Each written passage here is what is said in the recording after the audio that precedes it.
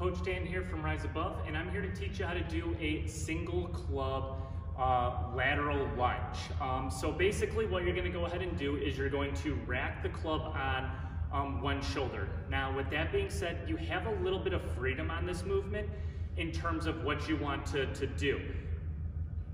One is e gonna be easier than the other for you. I recommend doing the opposite of whatever is easiest. So this might be a little guess and test to start. But there's two ways to actually do this. And say, meaning that, and say, you can, way number one, right shoulder, my right leg is what's actually taking my step for my lateral lunge. So my left leg is gonna stay planted, taking that right leg, stepping wide, dropping down into that lateral lunge as low as you can go, coming on up and stepping it back. And then you'll basically stay with that right leg step the whole time.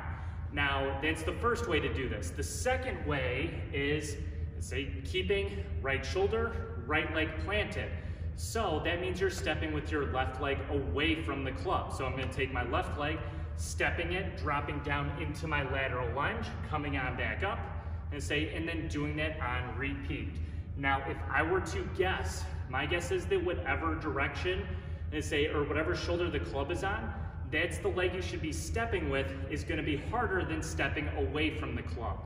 Um, and that's because the weight is directly over the leg that's actually working. Now, give both a test, see which one's harder for you, and do the more challenging one. The more challenging one is gonna provide you more benefit as a whole. And that's how you do your single club um, lateral lunge.